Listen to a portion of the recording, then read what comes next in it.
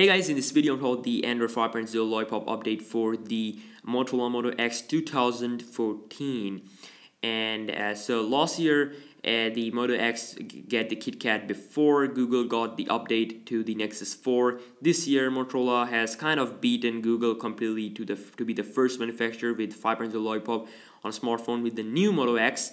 Uh, so this uh, so the Motorola uh, began the soak test for the 5.0 Lollipop uh, on the 2014 Moto X earlier today.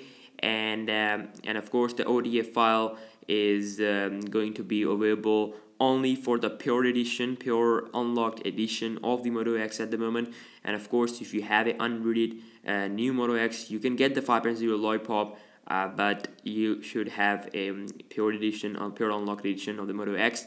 And then also the the Nexus 6 is expected to be released on uh, November 12th and uh, with the new version which is the 5.0 lollipop uh, but of course Motorola is aiming to have 5.0 lollipop update on the new Moto X uh, you know on every other Moto X you know other non-unlocked version of the Moto X uh, at that time. And of course this 5.0 lollipop is extremely great update uh, from the KitKat uh, for the Moto X 2014 and I'm not sure about the previous Moto X uh, it, previous Moto X will also going to get the update, but still it will take some time.